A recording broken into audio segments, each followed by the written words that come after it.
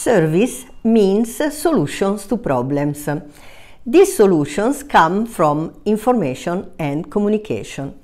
But how products can generate data and information?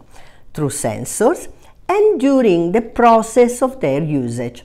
For example, an airplane engine generates a terabyte of data during a single flight. A stethoscope or another medical device generates a lot of data and information about patients' health. These data can be transformed into services for whom? For customers and users, for product manufacturers, and other stakeholders relevant in that business you